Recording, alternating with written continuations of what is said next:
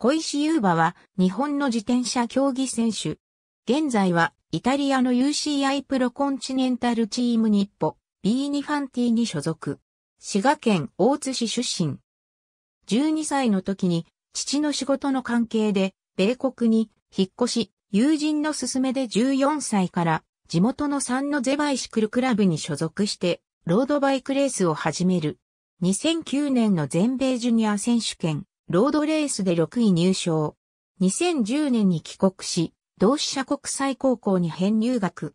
三船正彦が監督を務めるチームマッサフォーカスアウトドプロダクトに所属し、2011年のジュニア全日本選手権タイムトライアルでは2位となった。その後同志社大学に進学するが、ベルギーを拠点とするチームユーラシアの一員として、ヨーロッパでのレースに参戦した。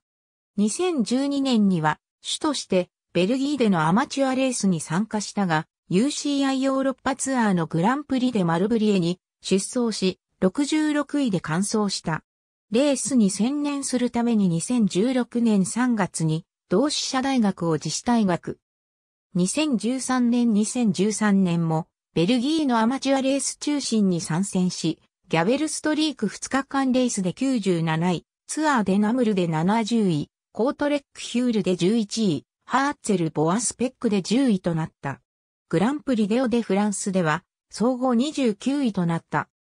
同時に、UCI ヨーロッパツアー、UCI アジアツアーのレースにも参戦し、イギリスのラットランドメルトインターナショナルシークル、クラシックではリタイアしたものの、ベルギーのクリクワイリアングランプリでは80位、日本のツールド、熊野では45位、フランスのグランプリでラビルでペアレンキーズでは35位、同グランプリでマルブリエはリタイアであった。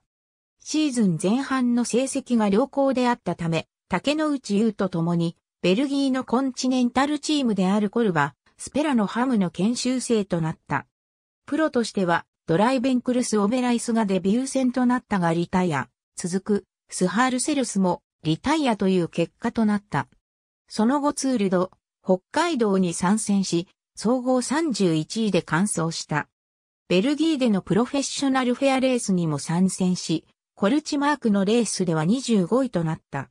2014年2014年のシーズンは、コンチネンタルチームの B ニファンティーニニッポに所属し、ステージレースを中心に参戦した。新チームでの初戦となったベルギーの西フランデレン3日間レースは第2ステージでリタイア。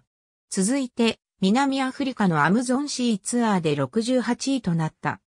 ポーランドで行われた U-23 ステージレースであるカルパティアクーリアーズレースでは総合82位となったが、第5ステージはチームメイトのグロスエドワードをうまくアシストし優勝させている。同じポーランドのシュラキエムグロドゥフピアストブキッシュでは総合69位となった。その後、UCI アジアツアーを転戦し、ツールド、熊野で総合43位、ツアーデコリアでは総合82位であったが、第5ステージでは逃げに乗って4位となった。初のカテゴリー超級レースとなった中国の2週間ステージレースであるツアーオブチンハイレークでは総合109位で完走。ヨーロッパに戻り、クレーズ・ブレーズ・イレッツに参戦するが第1ステージでリタイア。その後ワンデーレース4戦に参戦してシーズンを終えた。シーズン中にいくつかのローカルレースにも参戦し、スペインのフェスティーズ・デルトゥラで6位、ツアーデラプロビンスでバレンスの第1ステージで6位、ツアーデラプロビンスでバレンストロフェでシャトーをミランズで30位となっている。2015年 U-23 最後の年となる2015年のシーズンは CCT p/b チャンピオンシステムに所属した。シーズン初戦はタイで開催された U-23 アジア選手権ロードレースで残り 1km での単独アタックが成功し優勝した。これがプロとしての初勝利となった。タイムトライアルでも3位となった。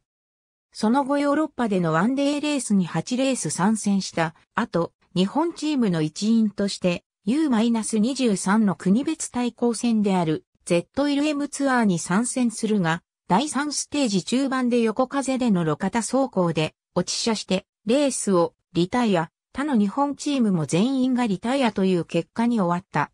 続くワンデーレースも2戦連続リタイアしたが、ロンドデールオイセ3日間ステージレースで総合88位で完走した。6月の日本選手権 U-23 タイムトライアルで優勝。単身参加のロードレースでは大学チームと競うことになり、最終周回でのアタックが一旦は成功したがゴール、前で吸収され34位に終わった。